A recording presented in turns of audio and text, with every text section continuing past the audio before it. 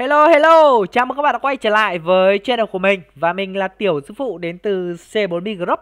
Ngày hôm nay thì mình sẽ tiếp tục gửi, gửi đến cho các bạn một thông tin nóng hổi à, Đến từ sàn Binance. Đó là dự án Laupun thứ 52 đã ra mắt. Và dự án này có tên là OMI Network, ký hiệu token là OMNI Các bạn có thể farm đồng token OMNI bằng cách uh, staking đồng BNB hoặc là đồng FD USD để có thể farm ra được cái đồng token của nó nhé. Ở đây thì cái dự án này là một cái blockchain layer 1 được thiết kế để tích hợp hệ sinh thái tổng hợp của Ethereum vào một hệ thống duy nhất. Đó và chúng ta sẽ farm cái đồng token của nó bằng cách farm đặt cược staking đồng BNB hoặc là đồng FD USD.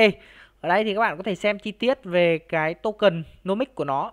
Tên mã thông báo là OMI Network, ký hiệu là OMNI tổng cung tối đa nó là 100 triệu token OMNI và phần thưởng mã thông báo lao pool nó sẽ là 3 triệu 500 nghìn token OMNI và nó chiếm 3,5 tổng nguồn cung mã token nhé các bạn.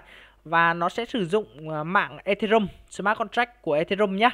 Ở đây thì các bạn có thể thấy là chúng ta có thể à, stake hai đồng là BNB hoặc là FDUSD và thời gian farm nó sẽ bắt đầu vào ngày 13 tức là ngày mai nhé các bạn.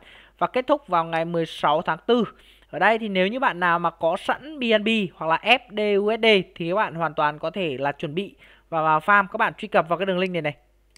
Các bạn mở ra. Thì các bạn sẽ thấy à, nó sẽ ra cái trang lau pool của sàn Binance.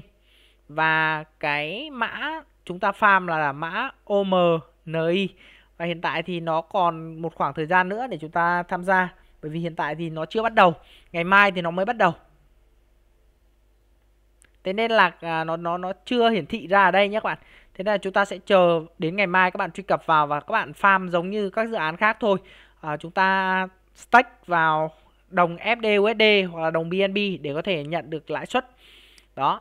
Thì ngoài ra thì các bạn cũng có thể uh, xem thêm thông tin của cái dự án này trên trang web của nó là omin.network các bạn nhé các bạn mở trang web của nó lên để các bạn xem cũng như là các bạn có thể kiểm tra à, những cái update cập nhật mới nhất của dự án ở trên trang Twitter của dự án này.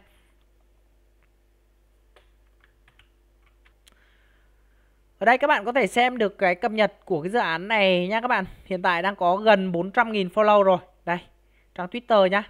Đó, và đã có xác nhận thông tin ở trên trang Twitter của Binance là sẽ à, lao pool. Đây các bạn có thể kiểm tra tất cả những thông tin của dự án này ở trên trang Twitter. Ngoài ra các bạn có thể truy cập vào trang web của dự án để xem nhé.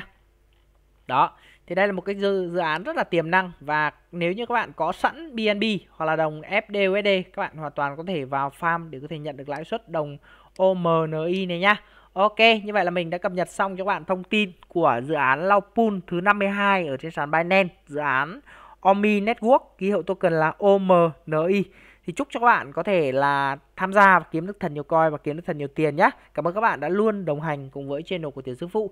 Những cái gì thắc mắc không hiểu thì anh em có thể comment ở phía dưới của video, mình sẽ giải đáp giúp cho các bạn. Còn bây giờ, xin thân ái, chào và hẹn gặp lại.